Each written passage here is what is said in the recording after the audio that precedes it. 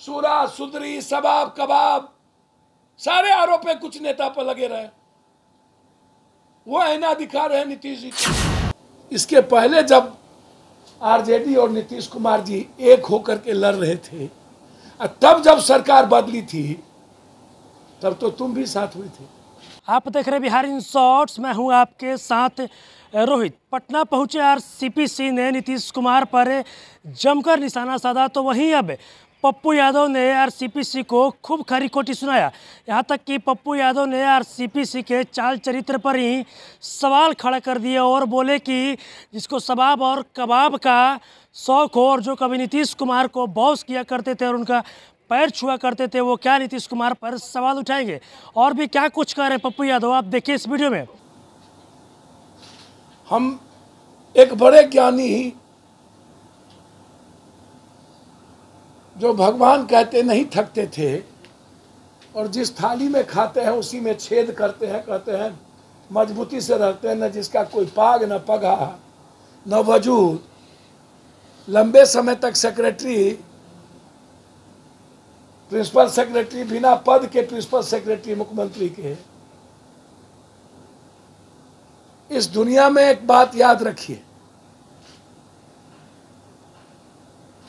किसी भी पार्टी को जो व्यक्ति संघर्ष नहीं करता हो, ज़मीन पर ना हो, जो लाठी खाने की क्षमता ना रखता हो, जो दुनिया की मदद करने की क्षमता ना रखता हो, जो जेल जाने की हिम्मत न रखता हो, और जो आम आदमी के बारे में कुछ भी पता नहीं हो, उसको किसी भी पार्टी के शीर्ष पर कभी नहीं बैठाना चाहिए। रखता है। जो चौदह से सोलह निकलते नहीं हैं, वैसा वैसा व्यक्ति भी, हम नीतीश जी की कोई बड़ाई या तरफदारी नहीं कर रहे।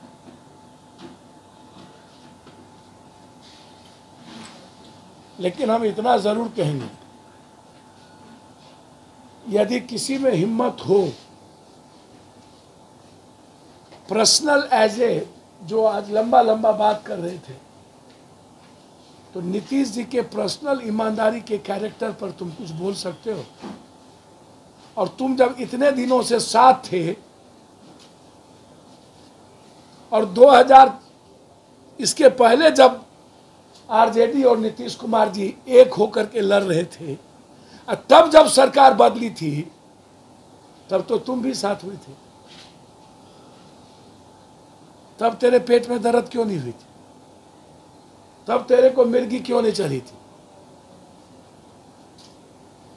ये तो एक बड़ा विषय है कि नीतीश कुमार जी ने कमर कसा संकल्प लिया। देखिए, किसी के हाथ में कुछ नहीं होता कि प्रधानमंत्री बनना ज़रूरी नहीं है, इस देश को बचाना ज़रूरी है। और ये बात सच है कि आप कांग्रेस और वामपंथी पार्टी के बगैर विपक्षी एकता का कोई औचित्य और मतलब नहीं है। और थर्ड फ्रंट का भी कोई मतलब नहीं। क्या क्या बोलते थे ये भाजपा के खिलाफ?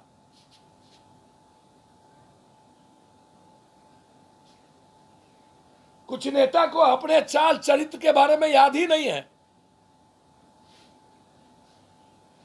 कि कितने चरित्रहीन आरोप लगे हैं और क्या क्या दुनिया नहीं जानती है। सूरा, सुदरी सबाब कबाब, सारे आरोप कुछ नेता पर लगे रहे। वो ऐना दिखा रहे नीतीश जी को। तो वहीं आपने सुना, पप्पू यादव ने अब आरसीपीसी के सीधे सीधे उनके चाल चरित्र पर ही सवाल खड़ा कर दिया और उन्होंने साफ़ कहा कि जिसको सवाब और कबाब का शौक हो, वो क्या कुछ दूसरे को समझाएँगे? वहीं उन्होंने ये भी कहा कि आर सी कभी नीतीश कुमार का पैर छुआ करते थे और नीतीश कुमार को बॉस कहा करते थे। वहीं आज आरसीपी से नीतीश कुमार पर सवाल खड़ा कर रहे हैं।